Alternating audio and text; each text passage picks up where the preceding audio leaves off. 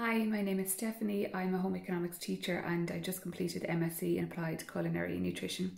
I think the course is really beneficial to my teaching and to my students because I have a much improved um, nutritional knowledge now and it makes me enjoy teaching nutrition more um, because I'm eager to share all this new information with my students.